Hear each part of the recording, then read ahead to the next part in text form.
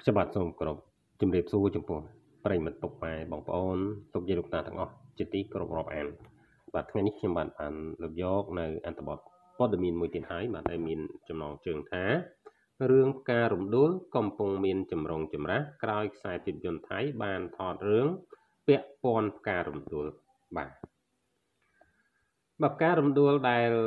ជាប្រភេទផ្កាតំណាងឲ្យកម្ពុជាបាទកំពុងក្លាយជាប្រធានបទយ៉ាងក្តៅគគុកជជែកដេញដោលពេញបណ្ដាញសង្គមខ្មែរអឺបាទពីមហាជន បាទរាប់សិបអ្នកពីមហាជនទូទៅ បាទនឹងអ្នកសិល្បៈនោះគឺដោយសារតែបាទផ្ការរំដួលដែលជាផ្កាតំណាងជាតិខ្មែរ ត្រូវបានបង្ហាញនៅក្នុងភាពយន្តថៃ ដែលសម្ដែងដោយនាង Bella Rani បាទនិងតារាប្រុសថៃ ក្នុងបាទរឿងថ្មីរបស់ថៃបាទបាទកញ្ញាដួង Zorida បាទពិធីការនីតារា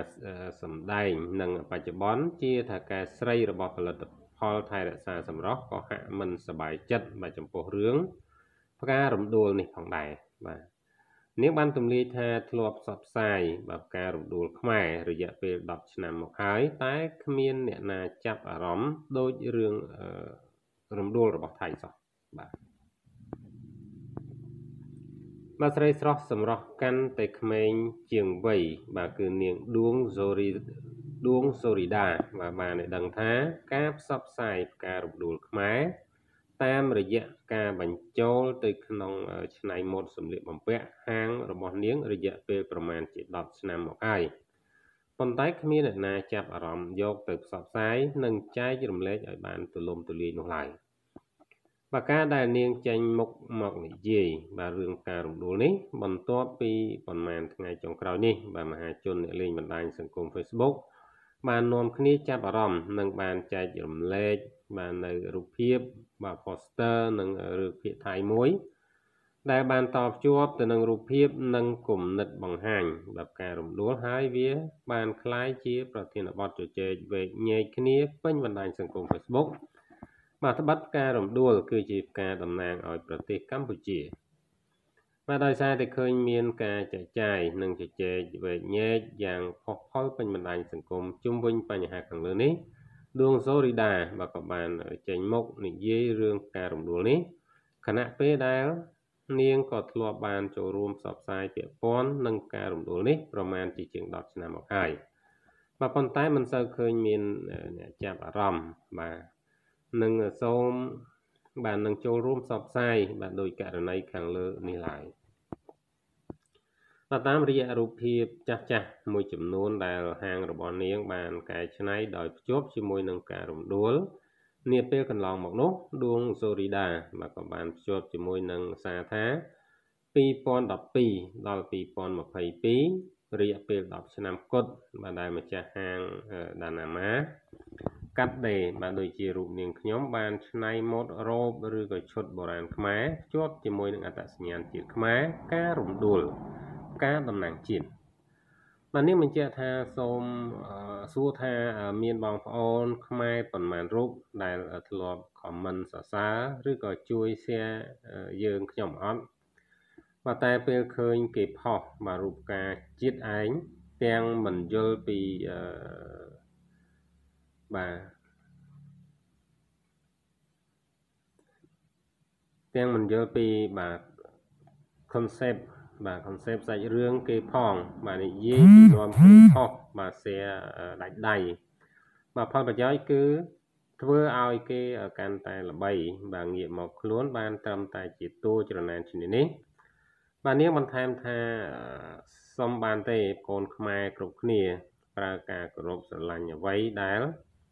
ជាវប្បធម៌អរិយធម៌ជាតិបាទចេញពីបេះដូងមិនមែនឆន្ទៈកើតឡើងដោយភ្លើងចម្បើងនោះទេ បាទបើតាមដួងរី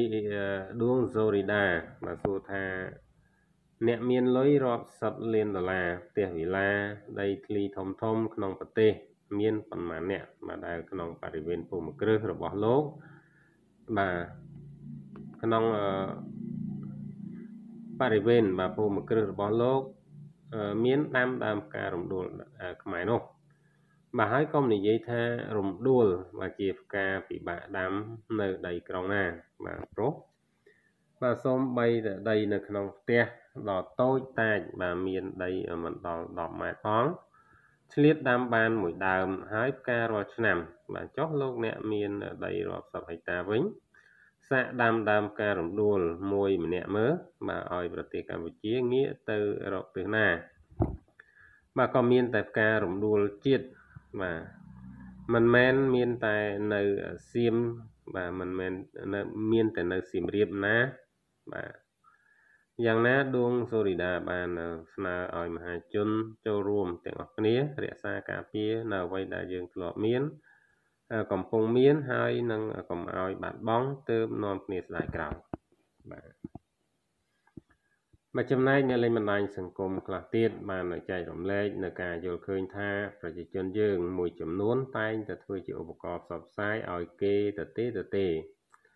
បាទរហូតឥឡូវផ្ទុះការតវ៉ារឿងការរំដួលបាទពេលឃើញហើយវិលមុខបាទដៀលគេថាបាទដៀលថាគេចោលរហូតតែសួរថារឿងនឹងចាក់បញ្ចាំងតើទៅមើលទេបាទមិនអោយខកខានឡើយ បាទចង់ទៅថៃបាទលេងទេបាទចង់បាទមានលុយល្មមល្មមចង់ព្យាបាលជំងឺនៅឯណាថៃបាទប្រើរបស់ថៃល្អទេបាទចូលចិត្តប្រើទេ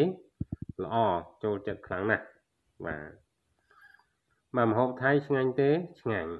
បាទយកមកលក់នៅខ្មែរដាច់ទេដាច់ បាទតារាថៃស្អាតឆ្លាតពូកែសំដែងស្រឡាញ់ទេ បាទស្រឡាញ់ពេញបេះដូង បាទតាមដានគ្រប់រឿងរ៉ាវគ្រប់សកម្មភាពស្អប់ថៃដល់ថ្នាក់ហ្នឹងបើប្រាប់ឲ្យឈប់ធ្វើរឿងខាងលើ បាទតើឈប់បានឬក៏អត់បាទឈប់បានទេឬក៏អត់បាទ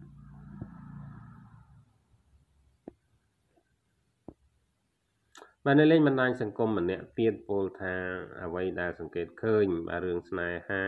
បាទវប្បធម៌សិល្បៈអីទាំងអស់បាទអ្វីទាំងអស់ហ្នឹងមិនសូវទេ បាទនិយាយឲ្យចំយើងគ្រាន់តែច្រណែនដែលគេធ្វើបានល្អជាងយើង ប្រសើរជាងយើងស្ទើរតែគ្រប់យ៉ាង យើងគ្មានសំអាងអ្វីដើម្បីយកប្រៀបលើគេក្រៅពីឌីលថាគេចោលទេបាទតែសួរថាសពថ្ងៃ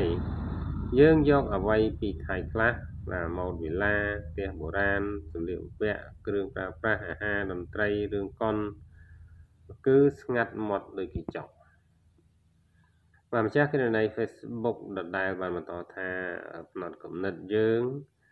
នៅវិលវល់ក្នុង500 600ឆ្នាំមុន បាទដែលនៅតែយល់ថា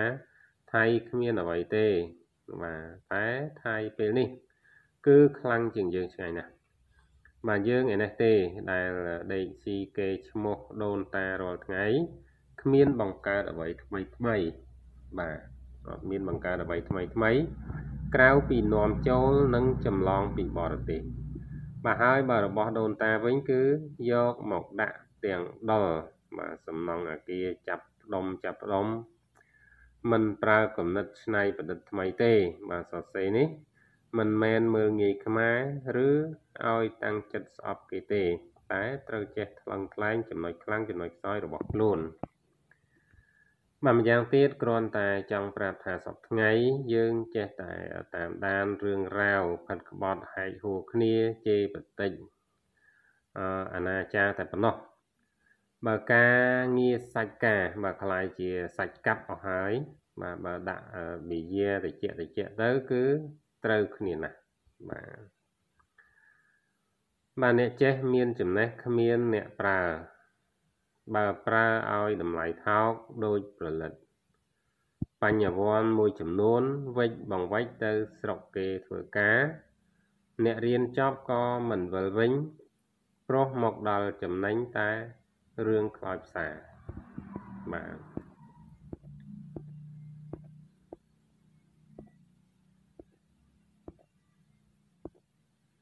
បាទតើប្រិមិត្តពុកម៉ែបងប្អូនបាទយល់យ៉ាងណាដែរបាទចំពោះអឺបាទ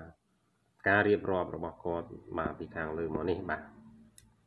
បាទអរគុណចំពោះការតាមដានទស្សនារបស់ប្រិយមិត្តពុកម៉ែបងប្អូនលោកយាយលោកតាទាំងអស់បាទក៏សូមជួយ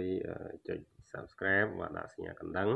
ដើម្បីទទួលបាននៅព័ត៌មានថ្មីៗជារៀងរាល់ថ្ងៃពី Channel របស់ខ្ញុំបាទផងដែរបាទសូមអរគុណសូមគោរពលា